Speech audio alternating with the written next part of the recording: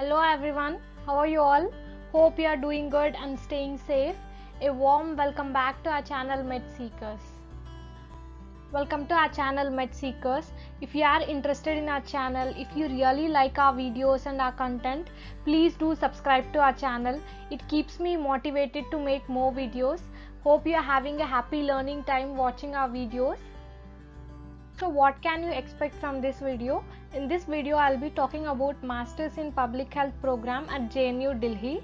Uh, what is eligibility criteria for MPH program and admission process and how to prepare for JNU entrance exam.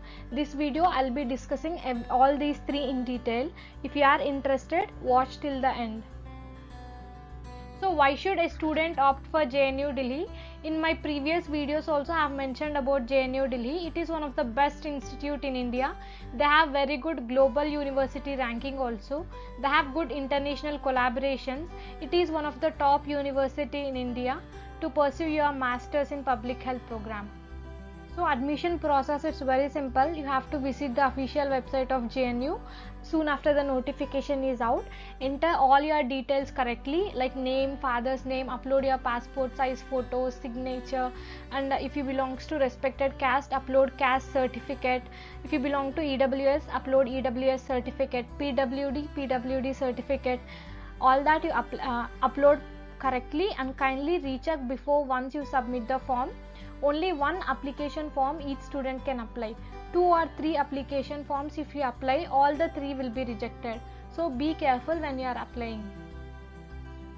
Please read the eligibility criteria before you apply.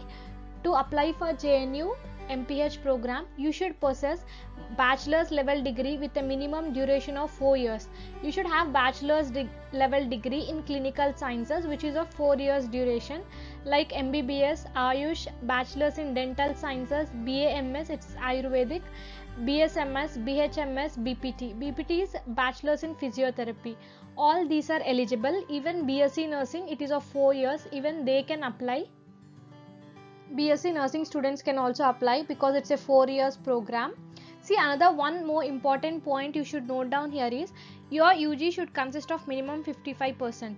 Suppose if you are an MBBS graduate completed your MBBS you should have overall percentage of 55 or above 55. Suppose if in your college you don't have percentage system and there is a grades you should have grade B at least. Grade F all that are not allowed your application will be rejected this is about uh, bachelors who are can who all can apply. Suppose if a student that he has finished bsc and msc in other stream and he want to do he wanted to pursue masters in public health program.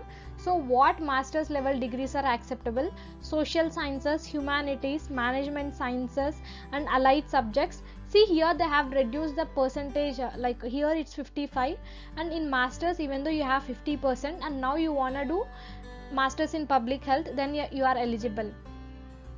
For bachelors it's 55 for masters it's 50 hope i am clear with this how many seats are available for masters in public health program at jnu every year intake of students for mph program it's around 11 this is uh, in 2020 i am telling 2021 notification is yet to be out.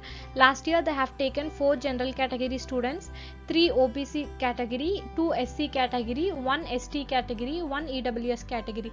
This is the way they distribute seats every year they conduct JNU entrance exam. You have to qualify JNU entrance exam to get into JNU. In earlier videos I have mentioned how to prepare for entrance exam and books to refer for entrance exam. Please check that video like you will get an idea what book should you refer. Any doubts feel free to comment. I'll reply to all your comments. Thank you for watching our video. If you really liked our video, do hit that fat like button and share it with your friends who are interested in Masters in Public Health program at JNU. Do subscribe to our channel for our latest updates. Stay tuned. See you all next week with another video. Stay safe. Have a happy learning. Don't forget to subscribe to our channel Med Seekers.